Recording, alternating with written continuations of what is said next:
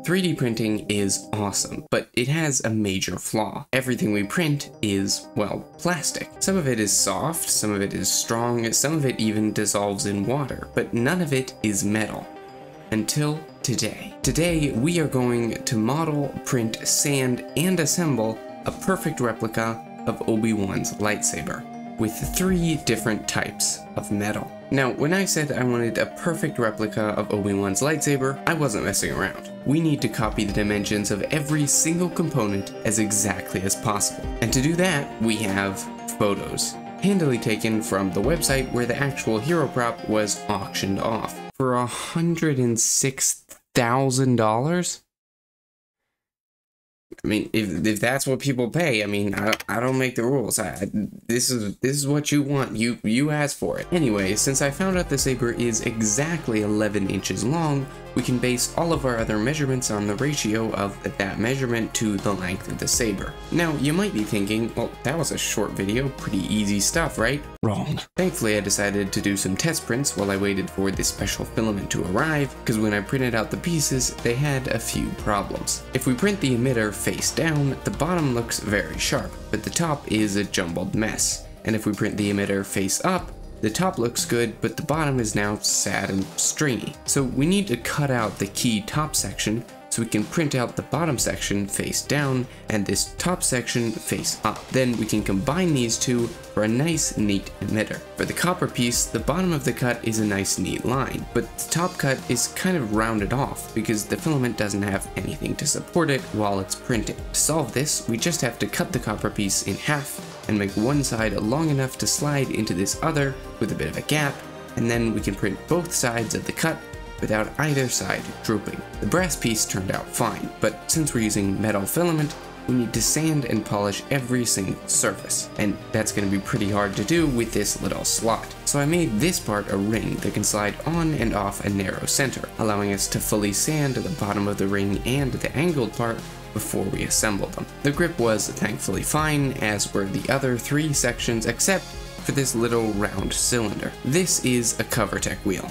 It fits into a little clip you can wear on your belt and holds up the saber, except that I printed this in one piece, so the top droops down a lot, which could easily be solved by again cutting a circle out of the base to make it a ring and making sure the top part was long enough to slide all the way inside while keeping the right gap. Then we can print both pieces with the larger side on the build plate and they'll come out perfect. At this point, it was time to start printing the actual objects, and the first thing we needed was some special filament infused with metal particles, which I picked up from a store called Protopasta.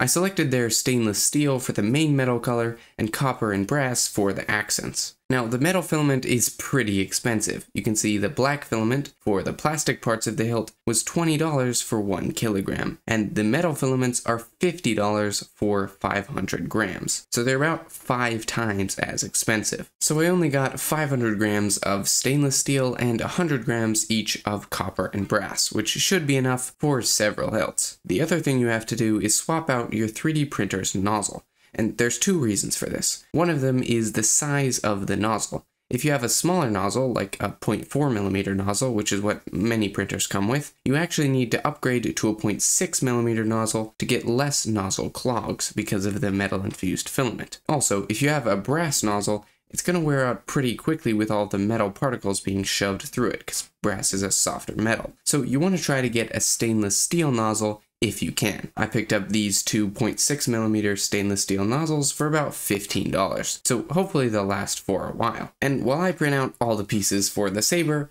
you can hear about our sponsor. Have you ever wanted to get something manufactured? No? Wrong. You want to get something manufactured. So, now that you want to manufacture something, where do you go? Well, the sponsor of this video just so happens to be a manufacturing company called PCBWay. And they do offer the ability to manufacture PCBs, create 3D prints, even CNC mill pieces of metal. That's real metal, like the shiny stuff. And they do offer orders as small as 5 pieces, which is perfect for hobbyists like us. The link, which is PC PCBWay.com is, is right there. So if you want to manufacture something, which we, we know you do, just click the link.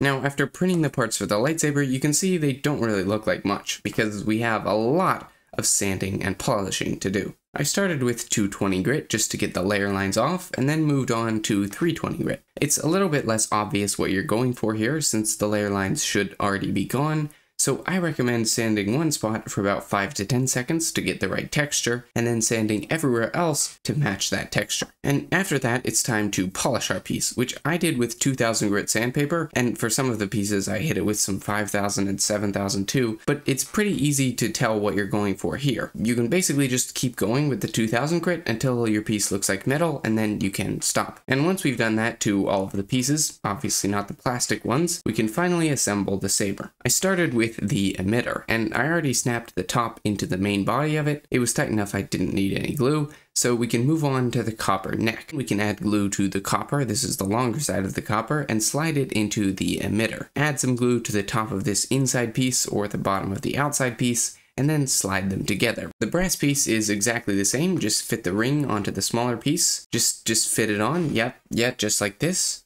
I was just getting set up that time, no worries, just just like this. So basically, you just take the ring and you set the small piece on top of it, just just like this. You just want to you just want to slide it in, you know, just like this.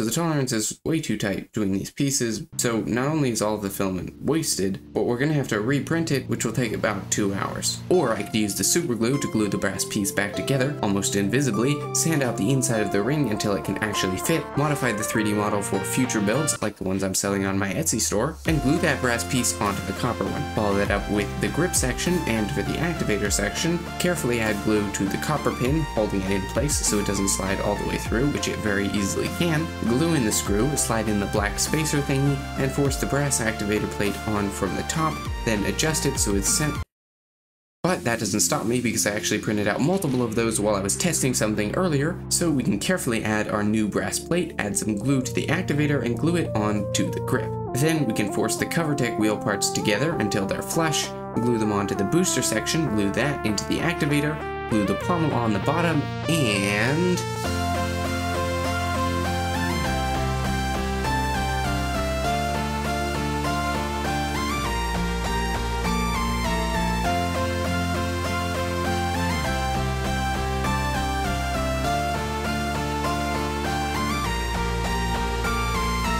And if you want to construct one of these sabers from a kit, or you want me to construct one for you, you got my Etsy store right there, or you can check out this video where I show you how to make a lightsaber that glows. Okay, that's all.